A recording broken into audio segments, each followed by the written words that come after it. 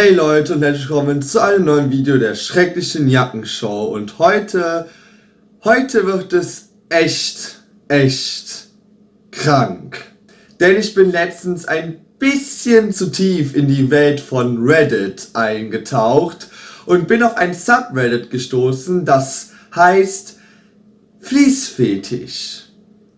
Ein Subreddit für Leute, die, wenn sie irgendwelche Sachen, Decken, Pullover, Hosen, Socken aus Vlies sehen, dann, ne, also, ne, ihr wisst schon, für solche Leute gibt es da ein Subreddit und da war auch ganz aktuell frisch ein Link zu einem Discord-Server genau von diesem Subreddit drin. Und habe ich mir überlegt, hm, das wäre eigentlich schon Grund genug, dass dieser Subreddit existiert, darüber ein Video zu machen, weil Jacken und Fleece wird ja gerne und sehr oft kombiniert und deswegen ist es keine Seltenheit, dass man in diesem Subreddit auch die ein oder anderen tollen Fotos von irgendwelchen Frauen in Fleecejacken sieht. Aber dann gab es noch diesen Discord-Server und da habe ich überlegt, gehe ich jetzt das Risiko ein, dass ich dort sehe, wie irgendwelche nackten Männer ihren in irgendwelche Fließjacken oder sonst irgendwas oder halte ich mich da lieber von fern und mache nur über das, was in dem Subreddit zu sehen ist, ein Video. Ein Glück ist in diesem Discord-Server NSFW-Content und SFW-Content ganz klar getrennt. Ein Glück, weil sonst hätte ich wahrscheinlich kotzen müssen. Dafür gab es bei diesen SFW-Kanälen, die extra nach der bestimmten Art von Vlies sortiert waren, ganz, ganz tolle Bilder. Und die möchte ich euch heute nicht vorenthalten, weil ganz ehrlich, wenn man sich bedenkt, dass diese Leute, die diese Bilder posten oder da vielleicht sogar diese Bilder gemacht haben, das Ganze, ne, ähm, dann ist das schon auf einer ganz anderen Ebene, als wenn ich äh, Anfang des Jahres gesagt habe, Bigami ist schon sehr krank. Das ist nochmal eine ganz, ganz andere Stufe. Fangen wir mal mit diesem Bild an und hier sieht man ganz schön, wie irgendeine Frau, die da so eine schwarze Bench Jacke haben. Ja, die Leute, muss man dazu sagen, die Leute sind, fahren so auf diese Bench Jacke ab. Ihr wisst nicht, was ich da für Bilder gefunden habe, aber die kommen gleich noch. Ey, das ist... Boah. Hier sieht man jedenfalls irgendeine Frau, die für dieses Foto eine Bench Jacke trägt und extra nochmal hier den Kragen in die Kamera hält für den Fall, dass man nicht weiß, dass das eine Bench Jacke ist oder für die Leute, die nicht wissen, dass auf dem Kragen ganz groß Bench drauf steht oder für die Leute, die für diese anderen Leute halt. Ähm, ja, super Bild. Das ist ja ganz großartig. Und das ist erst der Anfang. Als nächstes haben wir zum Beispiel hier ein Bild von irgendeiner Frau, die eine benchfallende Jacke aus Teddy Fleece Bench, what the fuck? Aus Teddy Fleece? Ihr macht die Dinger jetzt mittlerweile aus Teddy Fleece? What the fuck? Als ob das aus normalem Fleece nicht schlimm genug wäre. Aus Teddy Fleece? What the fuck? Ja, hier erstmal ein Bild, was man eigentlich auf Kleiderkreise hätte finden können. Irgendeine Frau, die eine Ben Jacke trägt und vor dem Spiegel steht und sich fotografiert. Kennt man ja von Kleiderkreise. Nichts Besonderes. Aber dann gibt es auf einmal dieses Bild von der gleichen Frau in der gleichen Ben Jacke mit einer Winterjacke darüber. Und dem genauen Beobachter wird auffallen, ja, diese Winterjacke hat auch nochmal Teddy Fleece innen drin. Das ist wohl eine der schlimmsten Kombinationen von zwei Jacken, die ich je gesehen habe. Eine Bench Jacke mit einer, da drüber noch eine Winterjacke mit Teddyfleece. Welcher normale Mensch macht einfach so ein Foto von sich im Spiegel mit einer Bench Jacke und einer Winterjacke, die gleichzeitig getragen werden? Welcher normale Mensch macht denn so ein Foto? Für die weiblichen Zuschauer, habt ihr jemals ein Foto von euch so gemacht? Habt euch jemals vor dem Spiegel gestellt und dann gedacht, ach, ich wollte mein Foto für Instagram. Hm, was nehme ich denn jetzt? Ah, ich hab's. Ich ziehe mir meine Bench Fallenjacke an und darüber noch eine Winterjacke. Das ist super Content. Jemals ist da irgendeiner, der sich gedacht hat, ey, das ist eine super Idee, das mache ich jeden Tag? Eine Bench Fallenjacke mit Winterjacke drüber, die Teddyfleece innen drin hat. Was ist das denn bitte für eine Kombination? Drinnen! Vor allem drinnen! Selbst wenn wir jetzt sagen ja, für Kleiderkreise.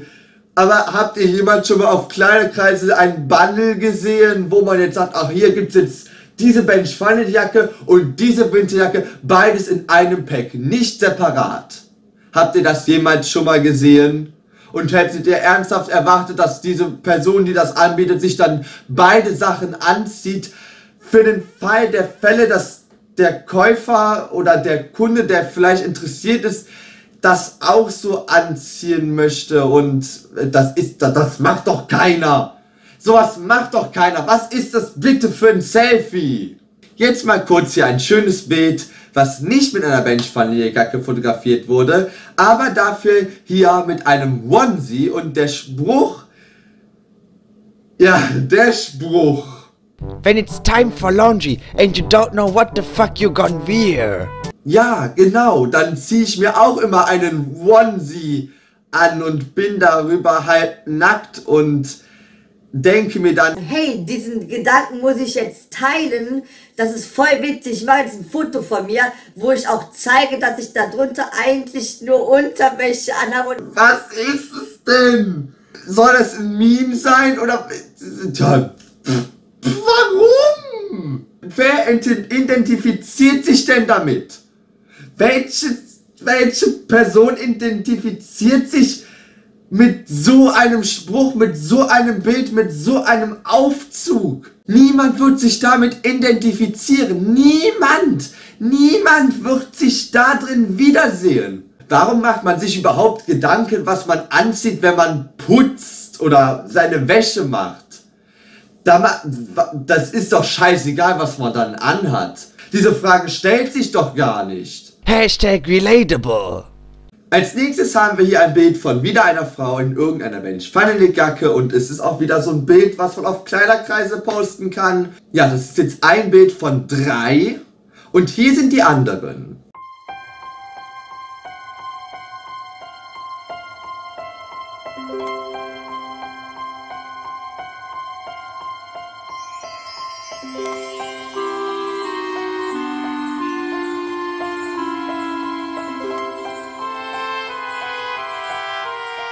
Das sieht ja so aus, als ob die zwei äh, solcher Jacken gleichzeitig anziehen würde. Ja, das kann ja nicht sein. Das muss irgendeine optische Illusion sein. Es wird doch niemals jemand zwei Bench Jacken auf einmal anziehen. Also, das wäre ja schon, das wäre ja schon über dem Level von extrem und ultra krank darüber hinaus. Also das macht ja keiner. Wer zieht denn zwei Bench Fallendick auf einmal an? Also das ist ja...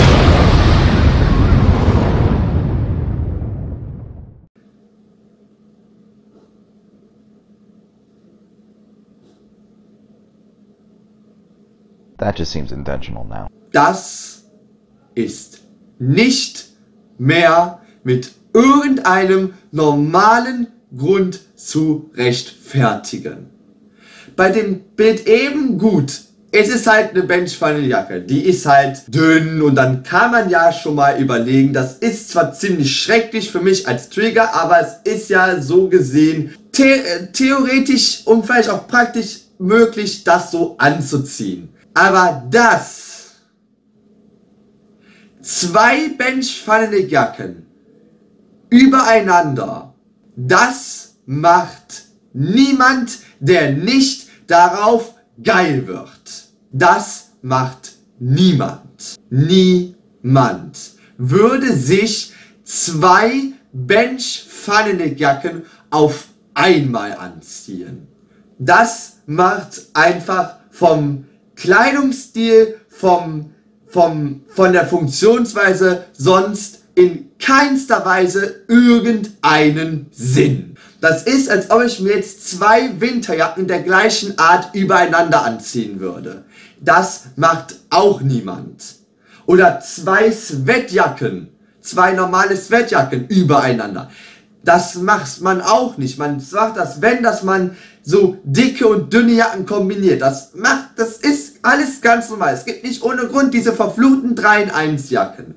Aber zwei Jacken und vor allem diese Bench Fallenik Jacken, die ja extra diesen Kragen haben, damit ihr den Hals wärmt, machen keinen Sinn, wenn man die übereinander anzieht. Irgendwie, wenn du jetzt sagst, ach, heute ist es so kalt, ich ziehe jetzt mal zwei Bench Fallenik Jacken an. Nein! Jeder würde eine kleine dünne Jacke und eine dicke Jacke anziehen. Aber nicht so zwei der gleichen Art. Niemand würde das normalerweise machen. Niemand würde sich einfach so zwei Bench Jacken anziehen. Das macht niemand. Es ist praktisch, läuft es auf null. Nie, es macht niemand. Warum ziehen sich Leute Bench zwei Bench Jacken auf einmal an? Warum? Warum? Und dann zeigt ihr uns auch noch einfach so. Ja, hier sind nochmal beide Klettverschlussseiten geöffnet und sowas. oh Gott, Leute. Das könnte man auch gut als Cursed Image ähm, betiteln. Verflucht, das ist doch. Verflucht, das ist Cursed, das ist.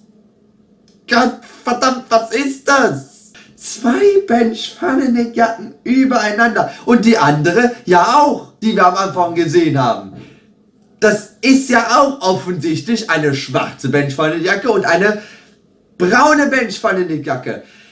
Ist es noch nicht mal mehr ein Einzelfall? Das machen die, das machen mehrere Menschen. Das ist, das, was ist das denn? Ah. Ich werde Reddit für die nächsten 50 Monate, wird mich Reddit nicht mehr sehen. Ich habe absolut genug. Ich bin noch auf dem Discord-Server rausgegangen, weil ey, da gab es auch eine, einen Bereich für Bilder von Männern und da hab, das wollte ich jetzt einfach euch mal ersparen, weil das reicht. Ist alles reicht. Ja, das war's auch schon wieder. Wie ist eure Meinung dazu? Was denkt ihr über diese Leute, über diese Bilder? Äh, könnt ihr euch mit irgendetwas davon identifizieren? Könnt ihr irgendetwas davon nachvollziehen? Schreibt mal eure Meinungen und Ansichten in die Kommentare. Das würde mich mal sehr interessieren. Besonders bei solchen Bildern von solchen Menschengruppen. Ich verabschiede mich für dieses Video. Wir sehen uns beim nächsten Mal wieder. Liken, abonnieren. Ciao!